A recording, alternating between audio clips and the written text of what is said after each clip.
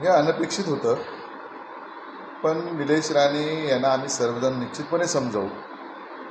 खूप चांगलं काम भारतीय जनता पक्षाचं कुडा मालवून त्यांनी उभं केलं आहे आणि आज त्यांच्याकडे आश्वासक चेहरा म्हणून सगळे तिथली जनता आणि पदाधिकारी सगळे त्या ठिकाणी बघत आहेत आणि याचं सुतोवाच आदरणीय पालकमंत्र्यांनी पण केले की उद्या भवितव्यातले जे उमेदवार असतील ते निलेश राणे असतील आणि परवाच्या दौऱ्यात आदरणीय बावनकुळे साहेबांनी पण तेच सुतवाच केलं.